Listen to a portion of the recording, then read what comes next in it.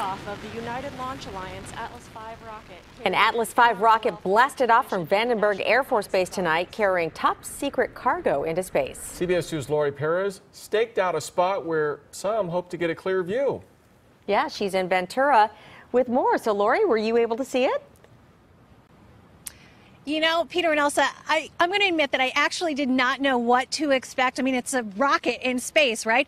But we saw it so clearly from here on the beach in Ventura. A little uh, group had gathered along with us, some people who had seen many launches before. They told us exactly where to look. And when it took off, we looked up in the sky and it was very bright right above us.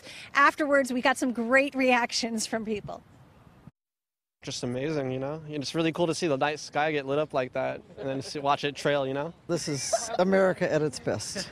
and anytime the captain says there's going to be a rocket launch, we're down here because it's unbelievable. Well, each one's different. Each launch is different. It's at a different time.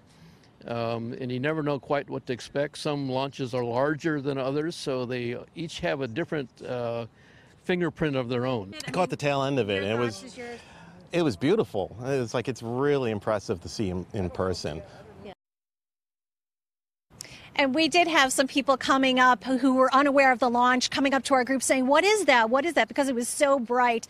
And we explained to them that it was a launch. We were seeing a lot on Twitter, people wondering if it's some sort of meteorite or some other unidentified object. But we do want to clarify, of course, it was a launch from Vandenberg Air Force Base earlier tonight by United Launch Alliance of the Atlas V.